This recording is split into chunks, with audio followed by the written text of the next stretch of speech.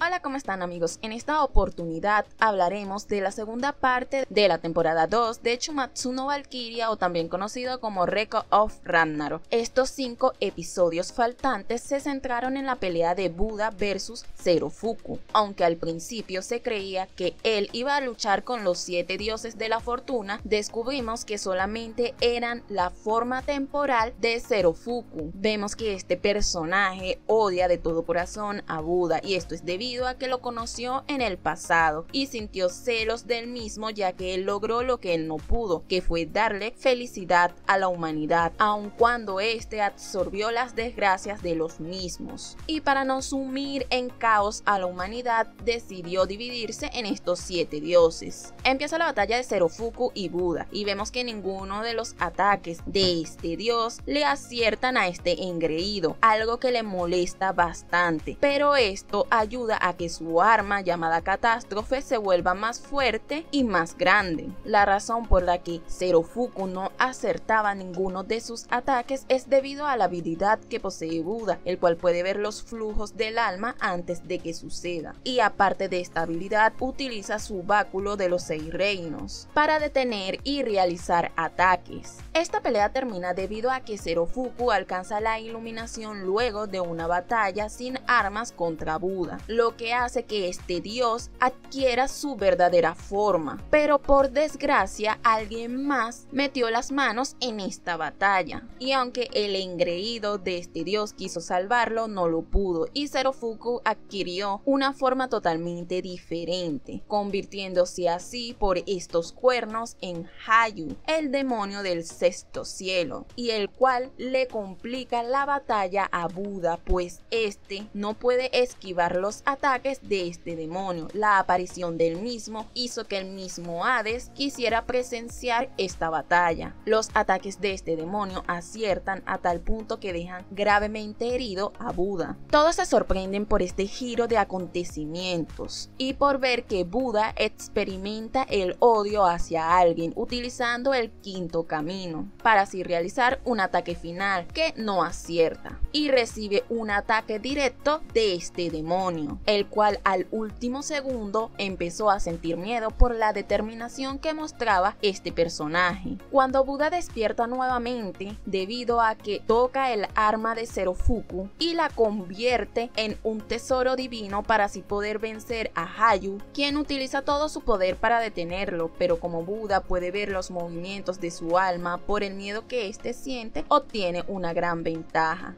Así gana esta ronda para la humanidad, haciendo que el tablero quede en un empate contra los dioses. Gracias a esta victoria pudo liberar a Zerofuku, a quien lo vemos junto a los siete dioses de la fortuna, siendo uno de los momentos más emotivos de esta batalla. Para finalizar, Buda le pregunta a Brunilda si está más cerca de lograr su misión, a lo que ella responde que sí. También vemos que la aparición de Hades es porque será el siguiente oponente de la humanidad la intervención de Belzebut en esta batalla molestó mucho a Odín, quien le dice que se mantenga lejos de esto, y este supo que era el que estaba detrás de lo que le sucedió a Zerofuko por las teorías de Hades. En mi opinión fue una batalla bastante interesante, quizás para muchos no sea una de las mejores, pero te deja un gran mensaje. Algo que me pareció intrigante es que nos revelan el misterio de cómo Brunilda logró que sus hermanas se convirtieran en tesoros divinos y es que ella visitó a Buda antes de la reunión para decidir el destino de la humanidad. El pasado de Buda y Zerofuku ambos fueron muy interesantes. La animación de esta batalla me gustó, hubo momentos en que Buda sí se veía raro, pero estuvo bien, no se vio tanto CGI. Espero con ansias que muy pronto revelen información de la tercera temporada, pero si les digo algo, creo que Netflix cometió un error en dividir esta temporada en dos partes, ya que creo que muchas personas no les interesó mucho esta batalla. Déjame saber abajo en los comentarios si viste esta segunda parte y qué te pareció.